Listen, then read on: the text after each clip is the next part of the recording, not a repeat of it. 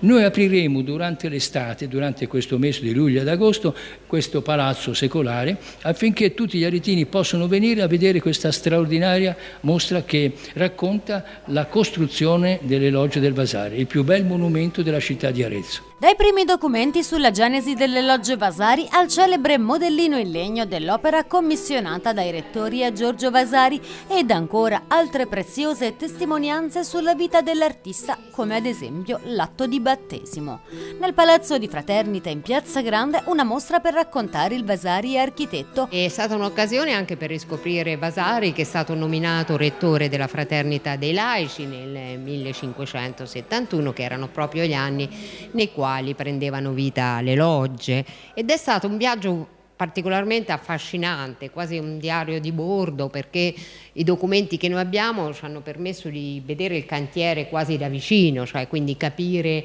il tipo di operazioni che venivano svolte all'interno eh, dell'area che era stata prescelta già nel 1570 per edificare, i materiali utilizzati, i costi, come si è operato e questo è stato veramente un modo di riscoprire una storia che riguarda Arezzo ma non solo Arezzo, riguarda Vasari Architetto più in generale. Onorata e graziosa la loggia di Giorgio Vasari. E in più abbiamo queste bellissime epigrafi, insomma foto di epigrafi perché era un problema portarle qui in fraternita che sono conservate nel museo archeologico di Arezzo e che abbiamo appunto proposto perché erano state inserite fino alla metà del Settecento all'interno dei pilastri delle logge vasari per ricordare la storia e le memorie di Arezzo.